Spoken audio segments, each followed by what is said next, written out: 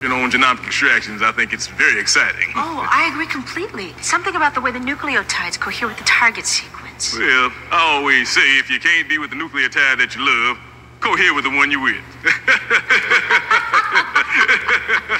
Nucleotides cohere with the target sequence. well, I always say if you can't be with the nucleotide that you love, cohere with the one you're with. Something about the way the nucleotides cohere with the target sequence. Well, I always say if you can't be with the nuclear nucleotide that you love, cohere with the one you're with.